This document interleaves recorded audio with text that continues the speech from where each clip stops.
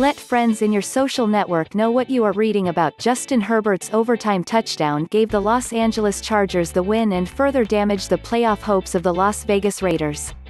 A link has been sent to your friend's email address. A link has been posted to your Facebook feed. Sports Pulse. Lorenzo's back with his three best bets for Week 15 in the NFL. USATODAYLAS Vegas, AP, Justin Herbert's brilliant rookie season is now a record-setting campaign.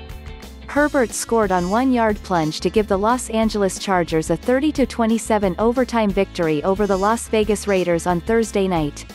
It was pretty crazy, said Herbert, who set an NFL rookie record with his seventh 300-yard game and has 27 passing scores on the year tying Baker Mayfield 2018, for the most by a rookie in NFL history.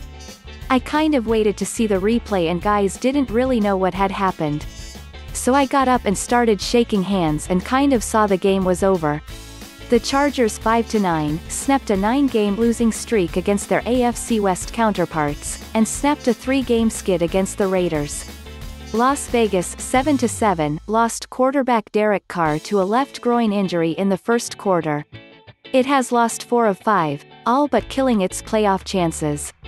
Moments after Daniel Carlson's 23-yard field goal on the Raiders' first possession put Las Vegas ahead 27-24, Herbert found wideout Jalen Guyton streaking by cornerback Keisean Nixon for a 53-yard reception to set up the winning score.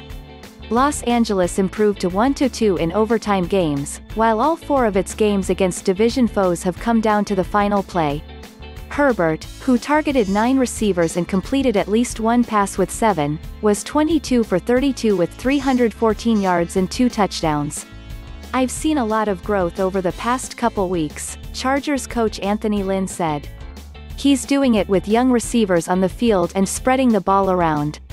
NFL Week 15 picks, Chiefs, Saints square off in potential Super Bowl preview records on the brink. These marks could fall this season football. In your inbox. Sign up now to get NFL news delivered via email Justin Herbert celebrates a touchdown in the Chargers win over the Raiders.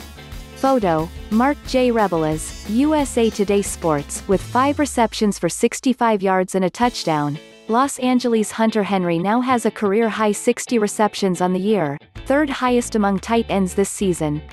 The Chargers got revenge from the first meeting on November 8, when Herbert's apparent TD pass to Donald Parham was overturned by replay to end the game. For the Raiders, the storyline quickly changed from must-win to stay alive in the playoff hunt, to how to win with backup Marcus Mariota seeing his first action as a Raider, while setting up a showdown of former University of Oregon quarterbacks. It was a pretty crazy experience, Herbert said.